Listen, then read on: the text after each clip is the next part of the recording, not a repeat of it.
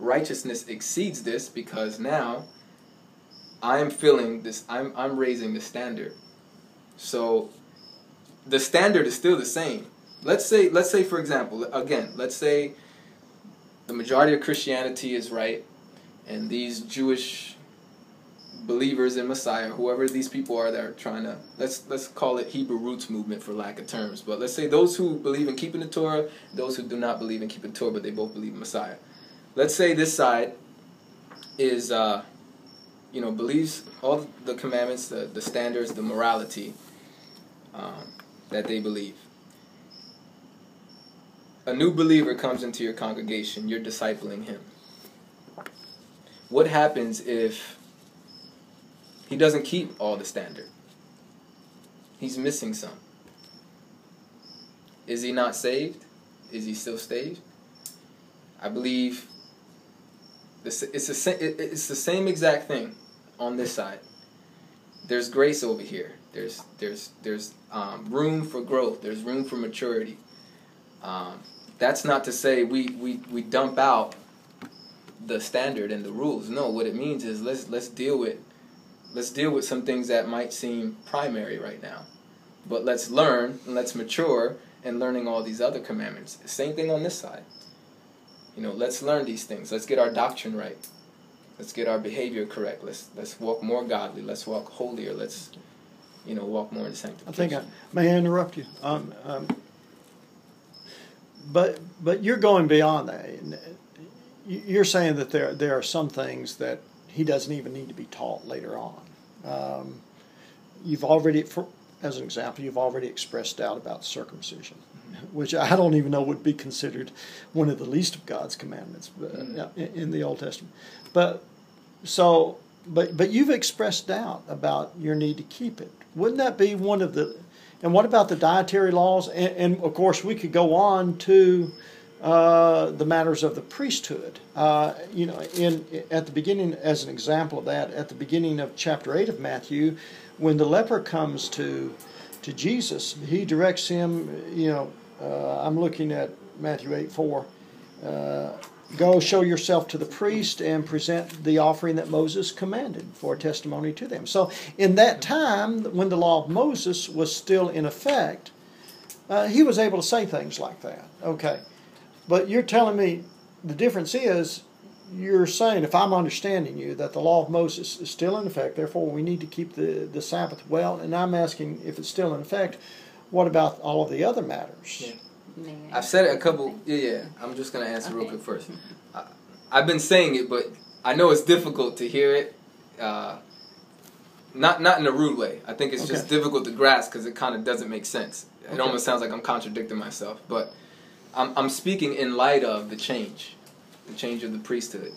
Okay. I'm speaking in light of the fact that a, a, a new, there's a new priest, there's a new priesthood, there's a change in the law that has to do with the temple duties, the sacrificial system. Those things have changed. So when I see the righteousness exceeding, I'm, I'm seeing that as what the Messiah came and did and fulfilled and now we follow in his footsteps. Okay, so are you saying because in light of the context that there's a change okay. in the law, which is the sacrificial system and the priesthood? Okay, why not include the Sabbath in that? I mean, this is one of the two passages that right. passages that you said. I mean, it seems like you're arbitrarily deciding that no, I, I'm I'm going to take the priesthood and related matters out of this, and I don't maybe circumcision. I'm not sure what else but you're going to leave the Sabbath in there. Mm-hmm. Because Hebrews makes that very clear. Okay, well, so you're really down to Hebrews four. You're, you're, really clear. down to Hebrews four nine. Then. Sure, it said okay. there so remains. essentially, what, what, he's saying is that that invalidated Matthew five as a proof text because we could, in the yes, same way, use exactly. it to say we need to present offerings and stuff. Do you understand that? Yeah, if you take away Hebrews. Right. So so you're really down to Hebrew was as, as far as showing that we need to keep the Sabbath. Matthew five is is doesn't work any more than to say that, that we need to present offerings. He uh, Matthew five is just as much as the cup half full. It's incomplete. Um, it's it's if you're just sticking to that, you're only following the law of Moses only. That's it. Right. But if you're exceeding that, now you're taking into consideration all that Christ has fulfilled and done and commanded on top of what has right. been So already really, what written. you need is another text that shows that the Sabbath doesn't fall under what God, uh, what Jesus had has already fulfilled. That it was not the shadow as opposed to the substance. So really, Matthew five, as far as establishing a Sabbath, and this is just the point we're trying to concrete, Mhm. make concrete. It does not establish a Sabbath any more than it would any other part of the law. I think, like I said, with Hebrews, I, I know you guys want, you know, a verbatim command, but Well, I think you were trying. I trying think to we have a, one. we have a verbatim command of what not to do anymore under this new covenant, Mhm. and Hebrews makes it very clear. It's, it's about the priesthood. That's what changes. Um, but all the other all the other laws, it's still in effect. There's no command not to do them. I want to ask out of curiosity, what about the dietary laws? Um, I think I think they're still in effect. I don't eat pork. I don't eat. Okay. I don't eat seafood. One, it's bad for you, uh, scientifically. Uh, even an atheist uh, health scientist can, you know. And it's been coming about. There's a there's a vegan Seafood? movement happening. Yeah, Oh. yeah. Seafood. They they clean they clean the seafloor. That's their job, is to clean. Not in the sense They're of like- fish, in the sense of No, not not not. Yeah, not fish. and anything all that. outside of He scales knows. is He all knows. He that- knows the word. Okay. He knows Isn't that- Leviticus.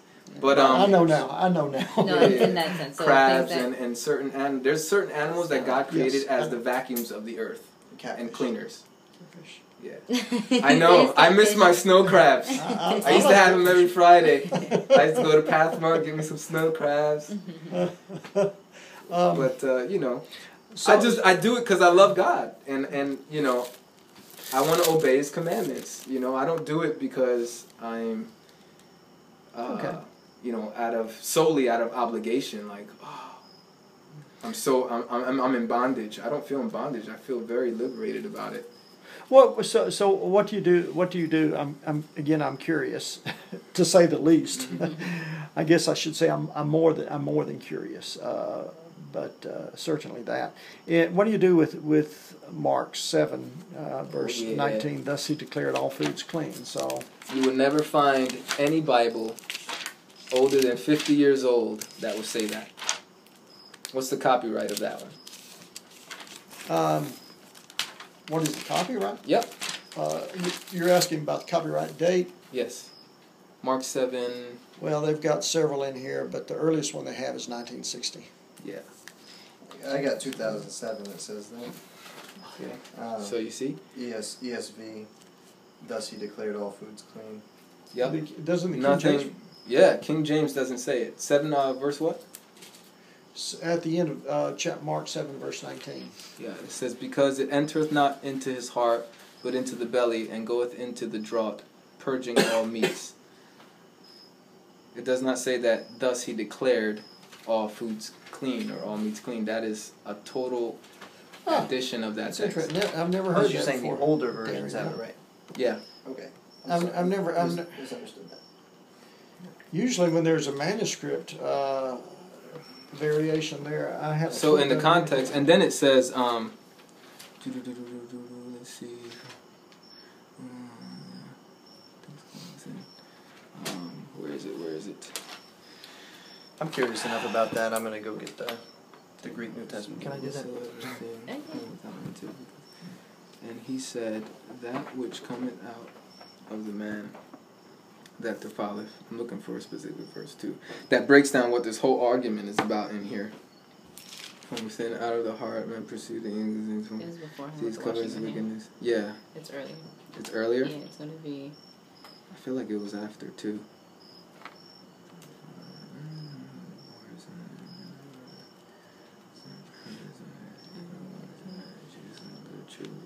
Yeah, it might be before.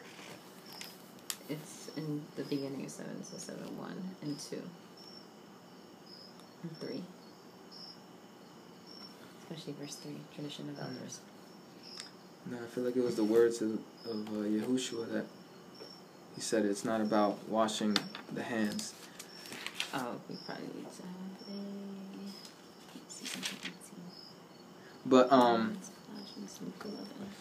when you read it in this light, just consider this: Jews at the Jews in this in this context, they know what clean food is and what unclean food is.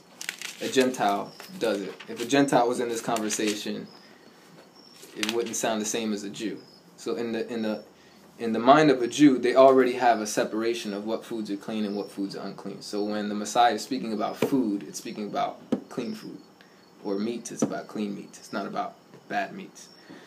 So, um, and basically what it's saying is that all clean meats, the, the issue is with Talmud. It's this, it's this oral tradition, this book, this other Bible that wasn't written yet during this time. It was just an oral tradition that was built up during that gap from Malachi to Matthew, those few hundred years.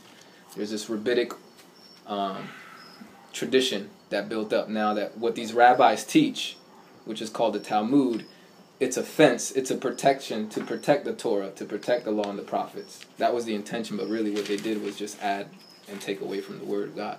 Mm-hmm. But anyway, one of the rules was in the Talmud is if you don't wash your hands before eating, you know, you're unclean. And Messiah is making a point that you don't need to. Um, you know, that's not what the that's not what the Torah teaches. You know, f- what the food goes into your body and your food digests it and it breaks it down and it goes out and you um, you go to the bathroom basically. But what it's not saying is that now you can eat whatever you want because your body will break it down and make it clean. You know, you can't eat everything in this earth and it won't. Like I said, these things, pork, swine, and and and these uh, certain seafoods that scientifically they're seeing that are not good for you. Mm-hmm. They actually spread bad chemicals in your body. Um, that even though you might be looking good, you know, for a while, but it's actually doing damage to you, you know, internally.